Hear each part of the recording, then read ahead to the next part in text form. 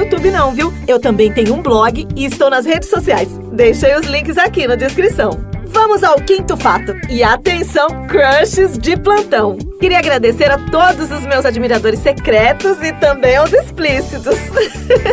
e dizer, não vai rolar, gente. Vocês são tão fofinhos quando comentam aqui me pedindo em namoro, casamento, me chamando de crush e perguntando quem é meu namorado. Gente, eu não tenho namorado e também não posso. Afinal, sou virtual, né?